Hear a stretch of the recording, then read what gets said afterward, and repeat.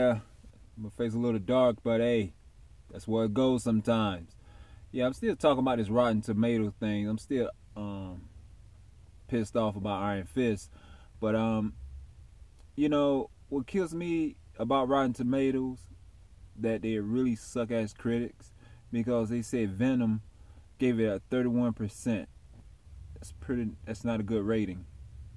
But if you look at the um, Venom wiki page, you can see it telling you that it broke box office records. You know, it broke records and stuff like that, and it made over 300 million dollars already. Still going. Now, if a movie doesn't base pretty much suck to Rotten Tomatoes standards, the movie wouldn't make that much. It would actually bomb in the box office, but it didn't bomb in the box office. Um, just like when he um, gave Iron Fist a, um, a 17% rating, but the audience loved it and gave it an 84% rating. So that lets you know that Rotten Tomatoes is not really the critics that you should be actually paying any attention to. It actually should be the actually the audience, the fans, the people that watch those type of shows.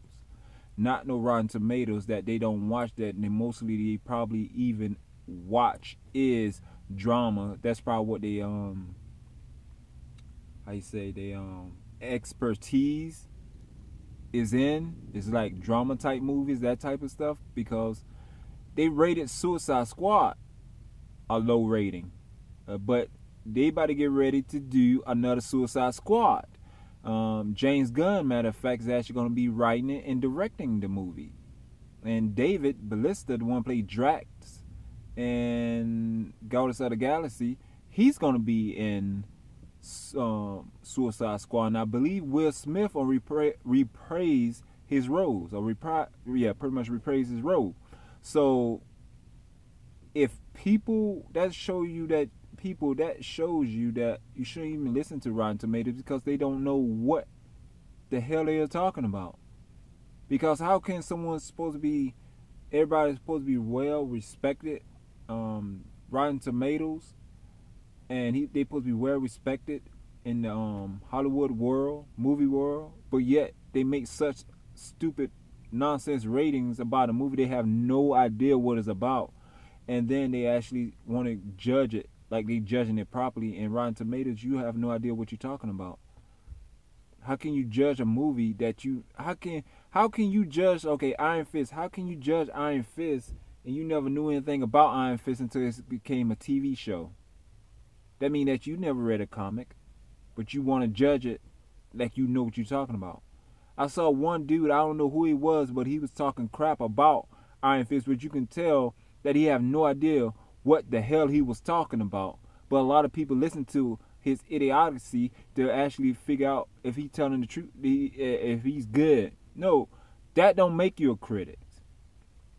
That don't make you um, a critic to certain things. If you haven't seen any type of movie, you sh- you know, uh, and you got to be, and they hire you to be a critic, but you never had saw the movie or do anything about it, know anything about it ever exists. What kind of like comic book or book really, you know what I'm saying? And but you gonna sit there and watch a movie and, and sit there and think you know what you're talking about, saying it's not worth watching. Man, you better go ahead with that. You know what I'm saying? Better go ahead with that. You you judging things unfairly. I know you look at techniques and all that stuff like that, but let me tell you something. Techniques, it's not all what people go enjoy in the movie. You know what I'm saying? People go enjoy the movie, see it gonna live up to the character or not. You can't say that you never read it, cause I had one person.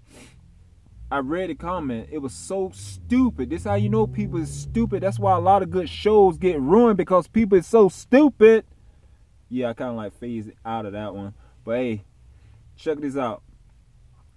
This is with Captain Marvel, right? A person said, I never read a comic book in my life, but I'm watching Captain Marvel. It should be a male, and the movie's going to fail. That's what I'm talking about, people.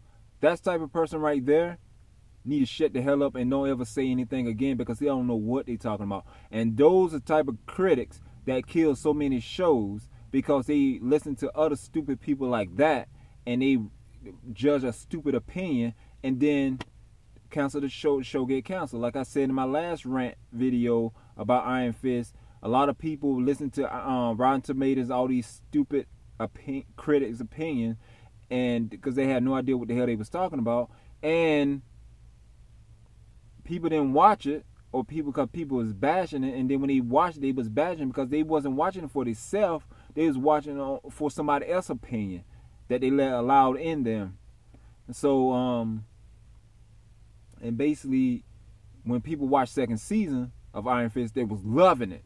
They were loving. It. They waiting for second, third season.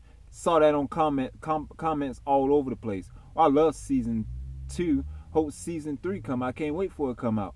Oh, um, and people actually watch season two because a lot of people giving great, you know, good things and stuff like. That. Even with the critic didn't give it a good rating, they went back and watched one season one and they loved it.